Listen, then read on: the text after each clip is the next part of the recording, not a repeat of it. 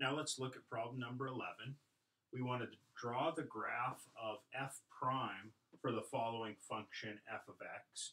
So you can see the function f of x here. We have several asymptotes. We have an asymptote at x equals minus 2. We have an asymptote at x equals 1. And then some behavior where things are heading off to positive or negative infinity in between.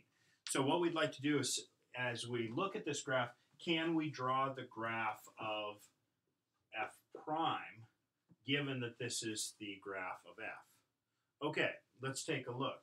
So first of all, uh, there is no functional value for this graph at negative 2 or at 1, so we're not going to have a derivative value there either. Uh, so what we're going to do is we're just going to look at where this thing does have slope and graph that over here on this uh, f prime function. So let's start over here. Over here, it looks like this is getting pretty close to having a slope of zero over here. So I'm just going to kind of pretend that it does.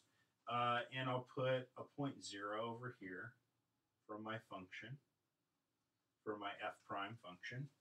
And then I see that slopes, as I move to the right from that point, slopes are negative. And as I get closer and closer to negative 2, the slopes are getting more and more and more negative. So they're actually also heading off to negative infinity as I get close to negative 2. So it looks very much the same. Okay, as I get over here, I can see that these are very, very positive slopes, but they get less and less positive as I move away. So slopes near negative 2 are very, very positive, near infinity, in fact, and then they get less and less positive until eventually I get to about right here at 0, and the slope is 0. So at 0, the slope is 0, and I have very positive slopes, so extremely positive, comes down to zero. Okay? After I hit zero, slopes get more and more negative.